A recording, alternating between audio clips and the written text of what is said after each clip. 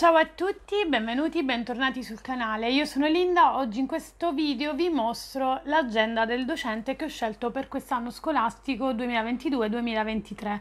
Perché faccio questo video? Perché qualcuno di voi ha visto le mie storie su Instagram, ma anche forse qualcosa su Facebook e mi ha chiesto di mostrare l'agenda o comunque le motivazioni che mi hanno spinto a scegliere questa agenda che ora vi mostro. In realtà devo dire che ci sono tantissime possibilità di scelta perché ormai ci sono tantissime maestre e colleghe che decidono di ehm, mettersi in campo nel fare proprio delle aziende su misura per eh, gli insegnanti di ogni, diversi ordini di scuola però io ehm, alla fine quest'anno ho scelto più o meno la stessa dello scorso anno. Devo dire che anch'io avevo provato a costruire eh, l'agenda che fa per me perché eh, credo sempre che sia quella perfetta, non quella che ci facciamo con le nostre mani, però eh, non ho fatto in tempo e quindi eh, la tengo da parte per un altro momento, forse chissà per condividerla per l'anno prossimo,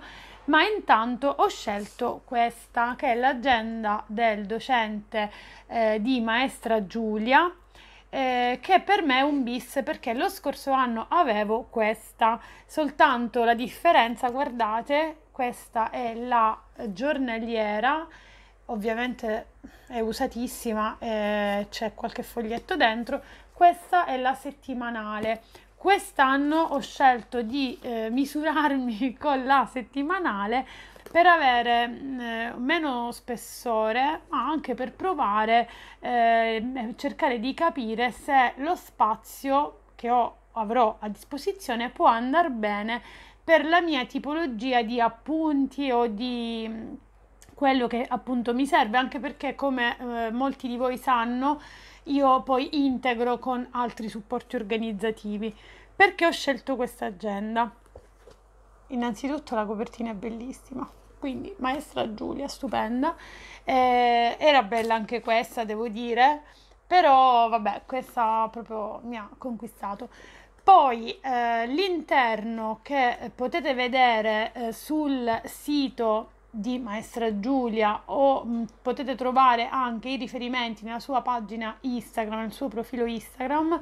Ehm, il, l'interno, stavo dicendo, è uguale per tutte e due le agende, la giornaliera e la settimanale, salvo ovviamente la scansione della settimana, perché qui nell'agenda settimanale abbiamo una settimana su due pagine mentre nell'agenda giornaliera c'è un foglio per pagina, quindi se apro eh, la pagina, trovarne una vuota adesso non sarà, ecco, non sarà facile, ma se vado alle vacanze di Natale, sì.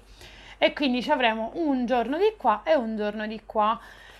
Io adesso qui vi ho aperto un giorno durante le vacanze di Natale e quindi è vuoto, ma devo dire che l'ho usato tantissimo perché l'anno scorso, tra l'altro con la prima, ho scritto tutto, ho programmato tutto, ho scritto nel dettaglio la scansione della mia um, attività didattica quotidiana, quindi quella andava benissimo.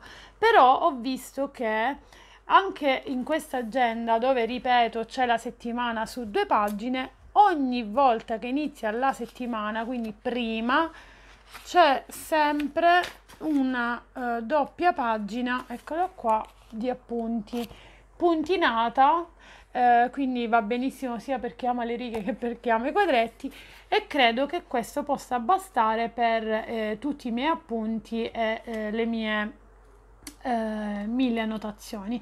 Cosa c'è all'interno? Ripeto, potete vedere tutta l'agenda sfogliata sul sito di Maestra Giulia, se siete ancora fra quelli che devono comprarla ma vi dico molto rapidamente che c'è il calendario scolastico, ci stanno le eh, pagine dedicate agli impegni di tutto l'anno, poi ce n'è ogni volta che inizia il mese ce n'è una per, eh, guardate, per esempio settembre, io ancora devo personalizzarla, c'è una parte con le cose da fare, eh, qualcosa da ricordare, eccetera. Trovate sempre un QR code che vi porta a contenuti extra che trovate poi sul sito di Maestra eh, Giulia. Cioè avete una scansione delle giornate mondiali, sempre col QR code in fondo in modo da poter avere dei contenuti extra e poi c'è mh, prima di iniziare appunto il mese questo planner eh, riepilogativo di tutto il mese dove si possono segnare gli impegni.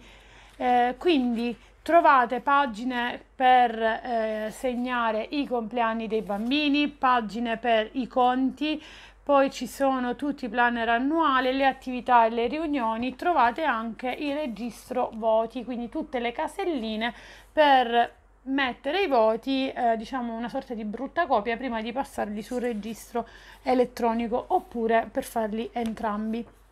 Quindi io credo che questo eh, possa essere, eh, diciamo, questa agenda possa essere utile per me. Ho scelto la copertina morbida per essere un po' più leggera eh, in borsa, ma ehm, anche l'altra sarebbe stata veramente bellissima. Se volete vedere nel dettaglio l'interno potete andare su maestragiulia.net e lì trovate eh, tutto il contenuto eh, ovviamente eh, filmato in maniera decisamente migliore di come posso fare io. Questa è stata la mia scelta per quest'anno. Andrà bene? Lo sapremo solo vivendo alla fine dell'anno scolastico, ma poi vedremo. Intanto io mh, comunque so che potrò integrare con i miei planner le, le varie eh, settimane che mi stampo regolarmente e creo regolarmente io per le mie esigenze che talvolta anche condivido sui miei canali. Quindi penso che potrebbe essere utile eh, potrebbe essere sicuramente abbastanza per me. Se non dovesse bastarmi, ritornerò alla giornaliera. Intanto spero che questo video possa esservi stato utile. Vi ringrazio per averlo visto fino in fondo, vi do appuntamento al prossimo e vi saluto, ciao!